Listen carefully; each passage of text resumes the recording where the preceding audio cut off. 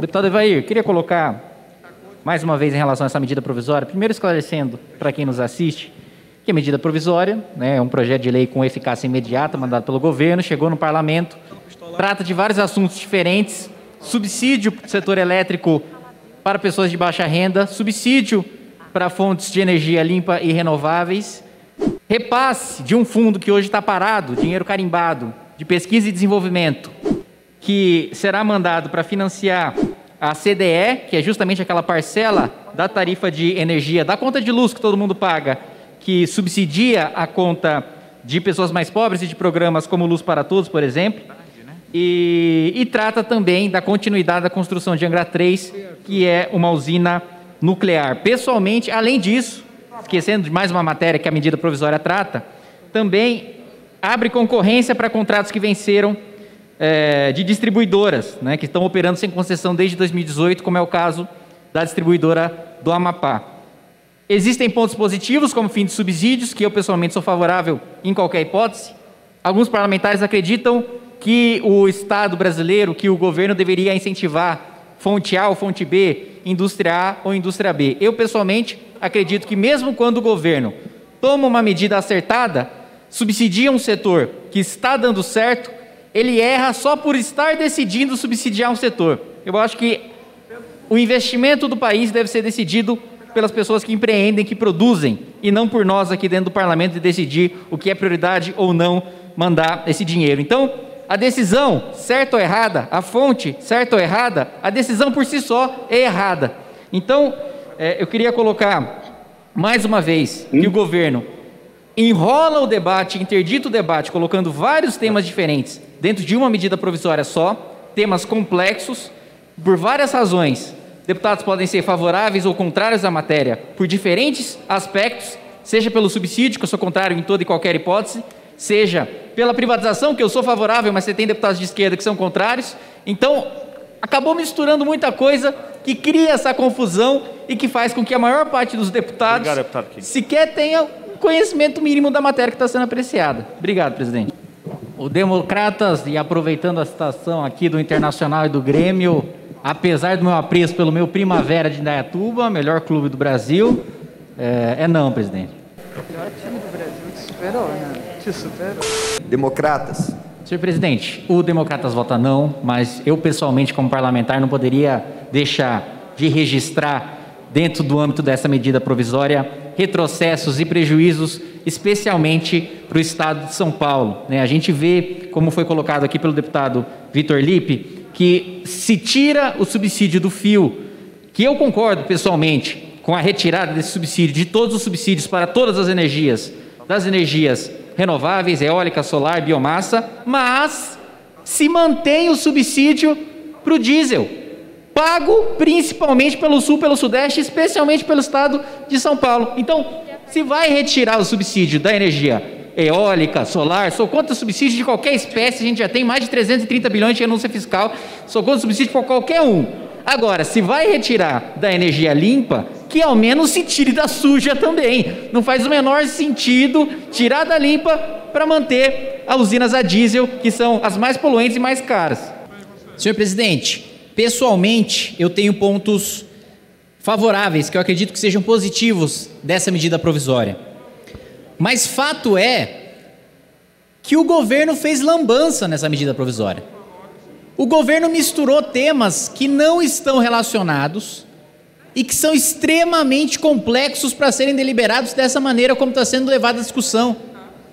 O governo misturou tratamento de subsídio para energia renovável com método de cálculo da CDE, com financiamento de Angra 3, com revisão de política de desenvolvimento regional baseado em matriz energética. A maior parte do plenário não sabe o que está votando. Essa é a realidade, presidente. Isso porque o governo misturou muitos temas em uma só medida provisória, sem dialogar com os líderes, sem dialogar com os deputados. Mais do que isso, eu não vejo nenhum aqui representante do governo com capacidade ou com não, perdão, infeliz o uso da palavra capacidade, com o conhecimento necessário dentro desta matéria para tratar especificamente de cada ponto. Exemplifico. Por que está sendo perdoado 3 bilhões de reais do RGR? A maior parte dos deputados estão votando essa matéria sem sequer saber o que é o RGR. E a gente está deliberando essa medida provisória agora, sem o mínimo debate, sem o mínimo, sem, informação alguma. Por que esse perdão está sendo dado? Por que a gente está retirando recursos do pagador da conta de luz da população, do mercado cativo, para pagar a Angra 3? Por que, que a gente está refazendo um contrato com a Angra 3 que inicialmente era 200 reais o megawatt-hora e agora está sendo negociado a 500 reais o megawatt-hora? Por que, que a gente está obrigando o pagador da conta de luz a pagar mais para financiar uma obra que está parada até hoje por corrupção, por ineficiência, por incompetência do Estado brasileiro, não desse governo, mas da estrutura do Estado de uma maneira geral. E a revisão do cálculo da CDE, que aumenta o subsídio para alguns estados do norte, as contas do resto dos pagadores das contas de luz. Eu, como já coloquei na orientação, sou favorável ao fim de todos os subsídios, inclusive para as energias renováveis, como está sendo colocado na medida provisória do governo. Mas não dá para a gente acabar com o subsídio de energia renovável defendendo o subsídio para diesel. Eu sou favorável, deputado Arnaldo, e respeito muito o conhecimento e a profundidade que Vossa Excelência tem dessa matéria. Para encerrar, deputado. Eu sou favorável de finalizar os subsídios e os encargos para que o pagador na ponta pague menos, de passar mais dinheiro do fundo de P&D para a CDE, para que o pagador, para que o pagador da conta de luz pague menos. Agora misturar isso com o Angra 3, misturar isso com os outros subsídios, com o recálculo da CDE para o norte e para o nordeste, Infelizmente, o governo fez besteira. E eu acredito, pela votação do, do requerimento de retirada de pauta, em que o governo não teve maioria de 257, que isso vai comprometer a aprovação da medida provisória e vai interditar a discussão nesse ano. Obrigado, presidente. Meu posicionamento pessoal, presidente, né, representando aqui o partido, é, rejeita o requerimento, vota não, apesar do meu posicionamento ser sim, e ressaltando ao nosso deputado, querido deputado e líder, Léo Moraes, que não tem absolutamente nada a ver com o seu competentíssimo trabalho enquanto relator da matéria, mas ele não tinha muito o que fazer, as matérias vieram do governo ele tinha de tratar das quatro, cinco matérias que eu coloquei na tribuna e precisou fazer seu relatório com base nisso. Então, com a deferência ao deputado Léo Moraes, não ao requerimento de adiamento de discussão. Senhor presidente, eh, eu queria fazer uma pequena, uma pequena explicação sobre a composição da conta de luz que tem relação direta com a medida provisória 998 que nós estamos votando. Né? Você tem o custo, primeiro, da geração de energia em si. Né? Então, a principal matriz elétrica do Brasil é uma matriz hidrelétrica. Né? Então, nós temos é, usinas hidrelétricas, né, em quedas d'água, que com as turbinas geram energia e passam para a maior parte dos municípios. Pouca parte, cerca aí de 1%, são essas energias que nós estamos debatendo aqui também, e com, com muita veemência, alguns deputados colocam seu posicionamento. Solar, de biomassa, eólica, representa uma porcentagem muito pequena da energia gerada no nosso país. A composição da conta de luz é a seguinte: a geração de energia, ou seja, o custo da energia em si, do elétron que passa no fio, o custo do fio, que é basicamente a soma do custo de transmissão, aquelas torres que a gente vê nas rodovias com a linha passando, esse, esse é o custo de transmissão. O custo de distribuição, que é basicamente quando a transmissão chega na cidade, chega no estado, melhor dizendo, a distribuição, que é quem passa o fio da rodovia para levar até a sua casa, e o custo dos encargos e dos uh, que, que somam os subsídios e os impostos.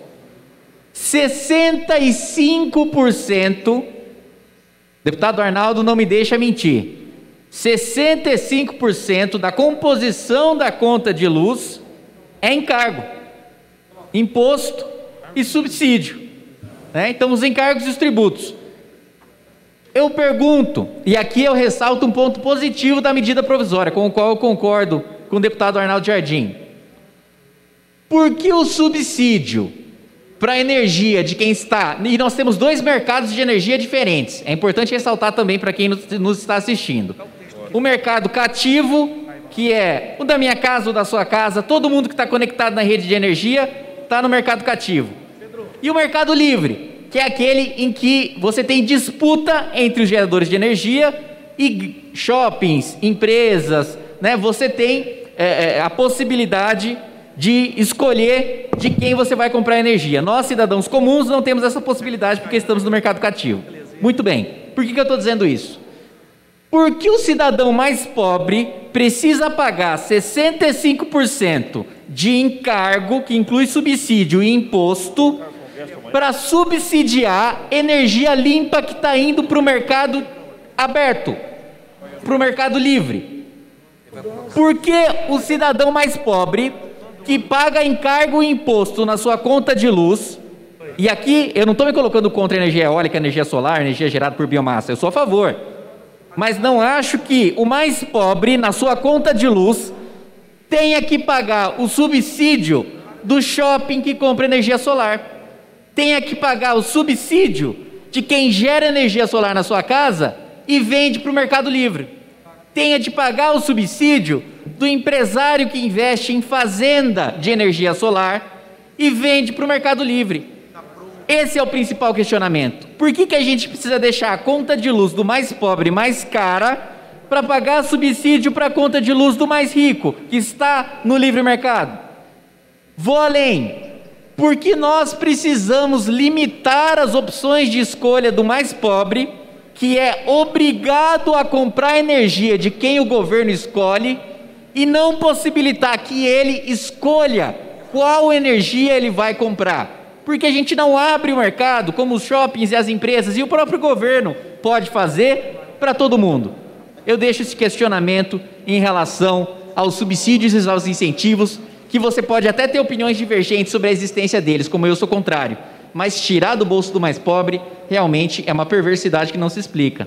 Né? O destaque trata de pesquisa de tecnologia para armazenamento de energia solar, eólica e biomassa. Então não é um investimento na energia em si, é em bateria, é para armazenar porque, e aqui fazendo uma breve explicação, eólica, solar e biomassa não são energias despacháveis. O que significa, parafraseando Dilma Rousseff, que a gente não consegue estocar nem vento, nem sol, nem nada para gerar energia no momento em que a gente quiser. Por isso a gente precisa armazenar em baterias e justamente é nesse sentido é, é, o artigo 4 da Lei 9.991 de 2000.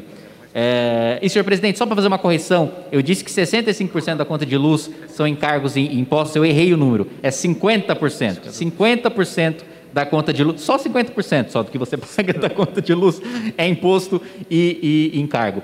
E o Democratas orienta não, presidente. Democratas vota não, apesar de pedir pessoalmente o meu voto ser favorável, presidente, por entender que o que realmente interessa é a melhor qualidade, melhor preço do produto e não a origem. Acho que, que o consumidor, o que o cidadão brasileiro está pensando na ponta, é se é para ele. Se é para ele, não interessa a empresa contratada, porque no final a, a tecnologia é contratada para o cidadão brasileiro e não necessariamente de uma origem de empresa qualquer. A ditadura Podemos. militar já tentou fazer esse tipo de tecnologia com a Cobra, com o estatal de chip, que até hoje é zumbi, dá 21,5 bilhões de prejuízo por ano e não deu certo. Não vai ser agora que a gente vai fazer dar certo. Eu quero saber qual tecnologia estamos usando aqui, quem não está aqui fisicamente no plenário, para participar dessa reunião. Mas uma tecnologia que não é brasileira, o Zoom. Essa é a ferramenta. Encontramos essa tecnologia, que é uma tecnologia eficiente e que resolve o nosso problema. É disso que a gente está falando. E a maioria que está participando dessa reunião de forma virtual está fazendo o quê? Usando o celular Samsung ou iPhone, que também não é brasileiro. E a maioria, ou quem está no seu computador está usando o quê? Um Apple ou um IBM. Nada disso é brasileiro. E são soluções tecnológicas e eficientes. Todo mundo aqui, ó, notebook da Lenovo, sendo usado aqui pela Câmara dos Deputados. E nada disso é brasileiro. A gente quer solução. A gente não quer definir como é que é o meio. A gente quer levar resposta e solução tecnológica para a população brasileira. A melhor solução e a mais barata. É isso que faz a gente pagar melhor e mais barato. Não é ficar fazendo reserva de mercado para aquilo que vai gerar dinheiro, sabe para quem? Para bolso de algumas poucas pessoas, pagando a conta à população brasileira. Então, chega de demagogia, vamos resolver o problema da população e o problema da população vai ser resolvido com tecnologia, aonde ela estiver, não necessariamente no Brasil. E é claro que a gente quer melhorar a educação, melhorar as condições para que quem queira empreender, inovar. E aprovamos aqui recentemente o Marco Legal das Startups.